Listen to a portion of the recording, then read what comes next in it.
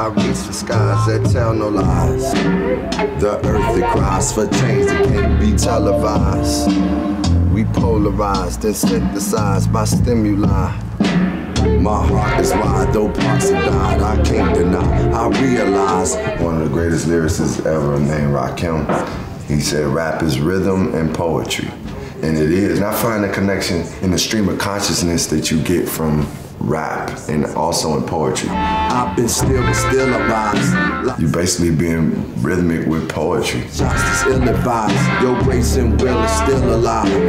Magnificence, beneficence, said that you gifted up. It's to trust in you because.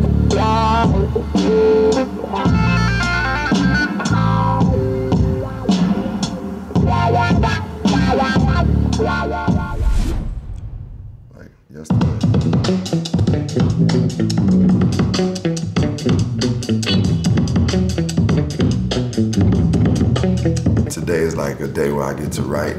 And that is like, I, in my life, I haven't had that in a long time where I'm just like, okay, I'm gonna sit down and work on music. And honestly, some of the times I'm coming up with things that I even won't even use, but it's the joy of the writing. Obviously, I'm working with the goal in mind to, to create the song and work on the song and finish a, a verse. This is one of my favorite times to, you know, I do my morning prayer and, and I come down here, I just turn on the music and start writing while I'm taking my vitamins and stuff. I love reading and I love um, words. So like what Morgan Parker will do with her words is like amazing. She's doing the poem at the, at the end of the first album, and then she, I'm asking, asking her to write something for this album. She actually gave me this one when we were in the studio, so I, was, I mean, I've read poems over and over, like I would say, not a lot, about seven times, eight times. It's not every day that I, I might only do I might go to it and read a couple of lines and then just be like, oh, get, get inspired. Like.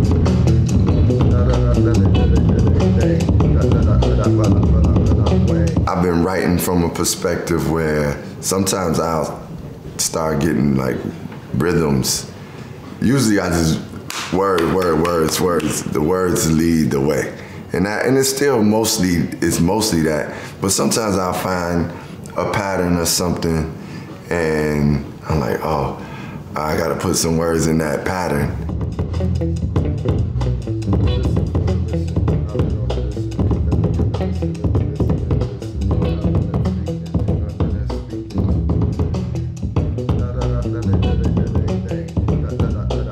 I've been staying here at home and just writing. It's been fun, like, um, and and it's some of it has been like, okay, I got this rhythm. I'm and I'm gonna put these words into this rhythm, and then I'll go from there.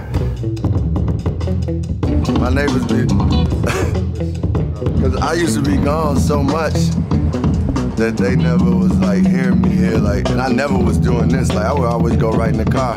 Now it's mornings, I'm literally up in the morning, like, but it ain't that loud. I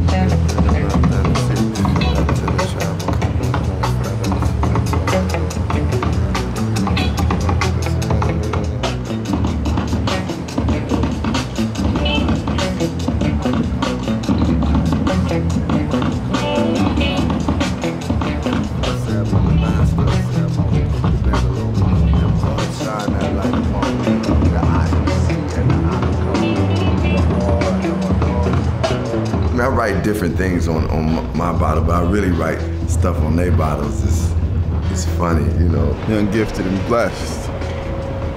Talented. what up? Come on, man. Yo, I travel through, I travel through time and space. Yo. I've been feeling within my writing and creativity a clarity that I, that I haven't had. And that's due to my health, like taking care of myself even more. You know, I already was like eating certain ways, but to be able to get rest and to kind of have a, a routine has been great for me. It's actually, truly, I like been in the studio like, man, I feel more clear, more powerful. Like, I don't know. I'm just like hearing things in, in newer ways, better ways. So, you know, gotta gotta stay in the health regardless.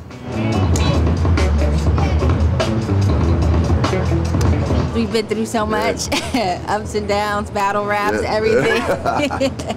So Lauren is someone that I work with, but is really like a sister, friend, uh, um, someone I learn from.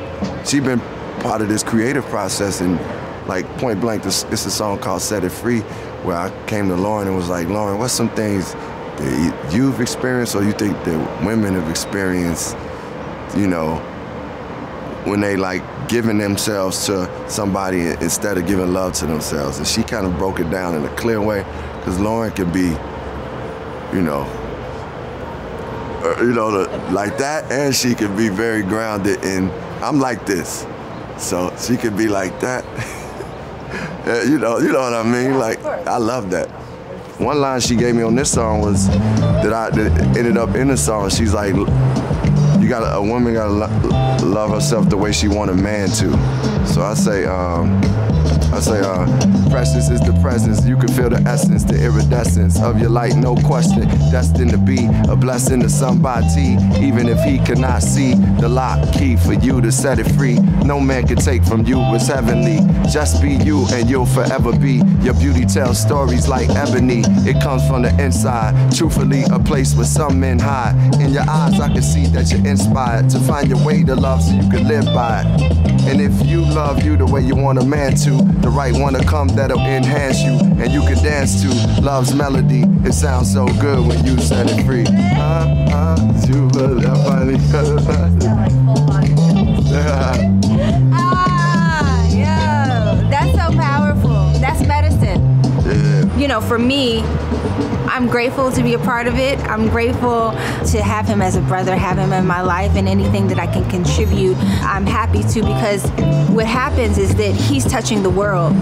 And so we, we're very clear about our purpose here on the planet and that we're here to raise the consciousness, awareness of humanity in ways that are fun and creative. You know, people think that the revolution has to be something so militant, but the revolution is canceling out the hate with happiness. You know, it's not giving the energy to the darkness, but allowing us to shine and understanding that what is the darkness without the light. So we, we come in as the light, you know, and so there's steps and stages and degrees in, in, to, in doing that. And I'm a, I play my role and I play it well. And so, and then he can go out there and he does his thing, you know what I mean?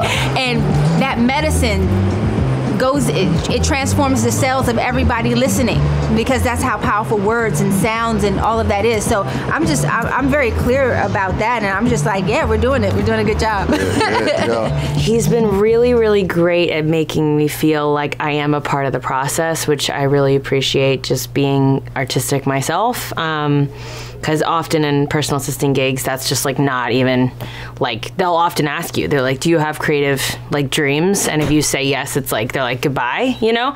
Which really sucks because it's like, I think he really has shown me that he values actually that artistic side of me. He can call me and be like, which lyric do you like better? And I can be honest with him and be like, you can write better than that. Or, you know, you can, I don't like that line. I like that one better. You know, he likes when I'm honest. So, which is great because I'm a very honest person. Up, up, we go. Yeah. La, la, la, la. That right there. La, la, la, la. Right there. That was, that was right there. La, la, la, la. Yeah. You take that last one and uh, like repeat it. La, la, la, la. Prank show. We'll just pull pranks on it. I would love to do that. Is it safe to pull pranks?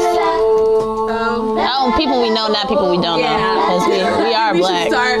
We should Black start. people can't do prank shows like everybody else. We should start where we where we know. Well, that's a skit in itself. Yeah, like trying to do know. prank shows That's- and then getting yeah. the cops call on you because, you know, what Can't do prank shows. Yeah, Start, When black.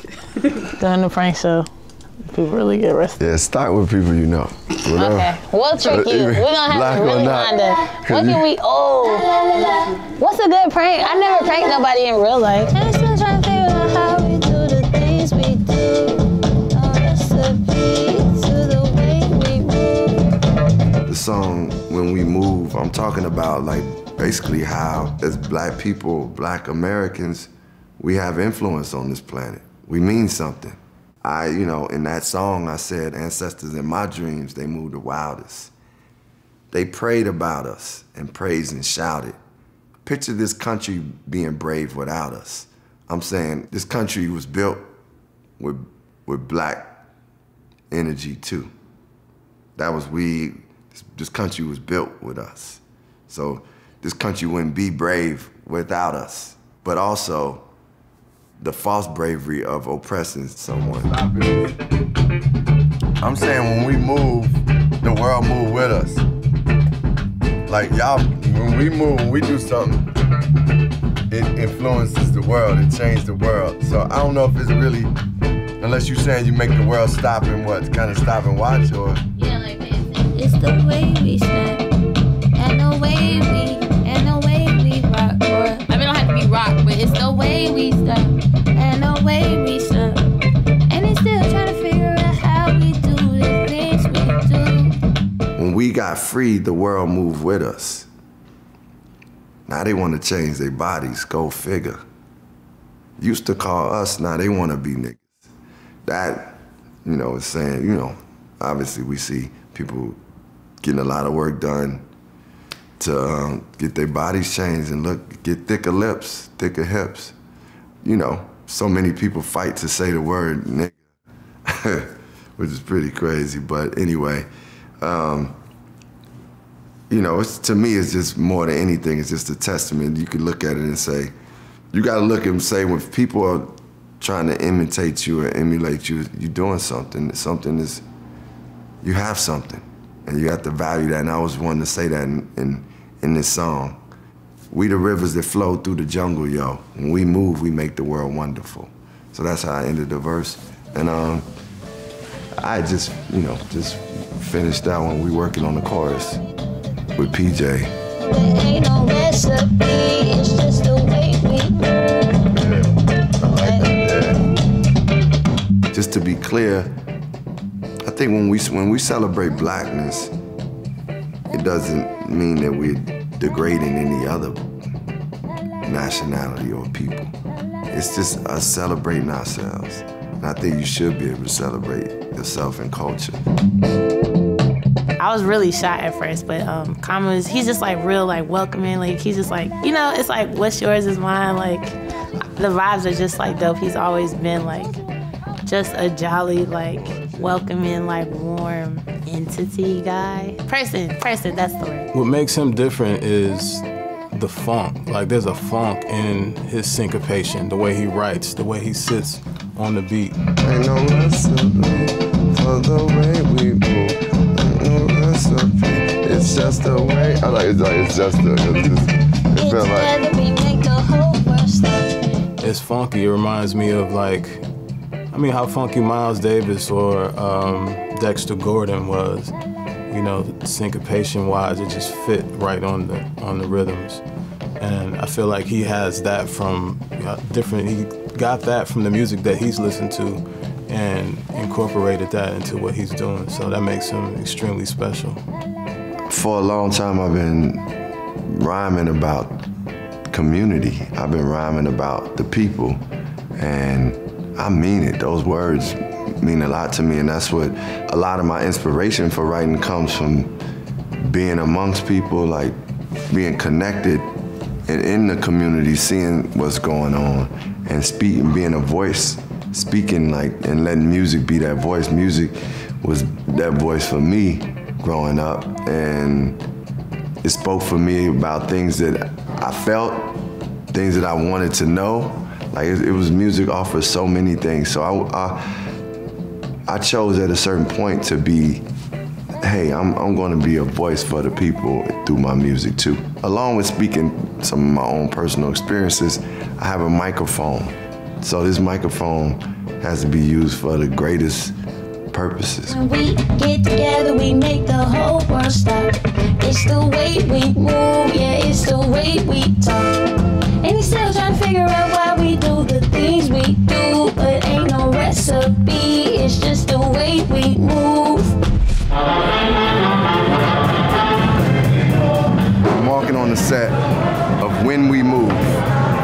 Black Thought. So this is, and Seun Kuti.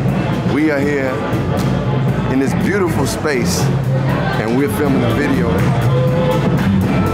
Just seeing black women and men express themselves in such a free and fun way is what we talk about when we talk about joy and black joy.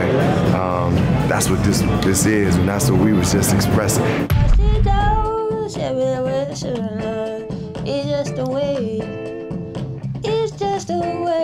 is it? Is it?